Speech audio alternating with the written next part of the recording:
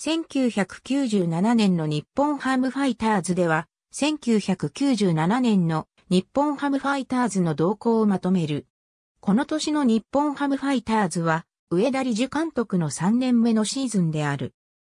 前半戦まで首位を走りながらも、上田監督の古巣であるオリックスの優勝を許したチームは失速の原因でもあった打線の強化を図るべく、巨人から落合博光を、アメリカからジェリー・ブルックスとナイジェル・ウィルソンを獲得。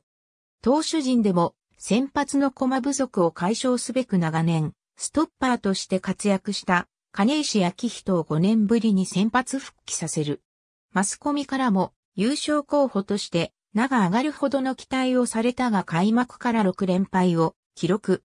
前年に躍進の率役者だった岩本務、今関勝、島崎武などは相手にマークされ、成績不振に陥り、ベテランの西崎幸宏は開幕戦で、故障離脱金石も初先発で1を取っただけで、交番資両者とも長期離脱、チーム防御率は4.18へ低下した。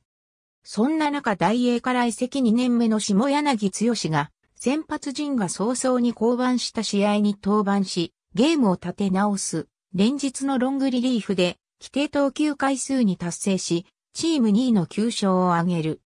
打撃陣でも、ブルックスと本塁打を獲得したウィルソンが、主砲として奮闘し、チーム本塁打も128本のリーグ2位と、まずまずだったが、不審ながらも4番を打つ落合を優遇する上田監督に対する不満も噴出。チームは3度の5割復帰をかけたチャンスがあったものの、ことごとくそれに失敗し7月以降は負けが込む。近鉄に9月以降抜かれ、最後は大英と同率の4位で終えた。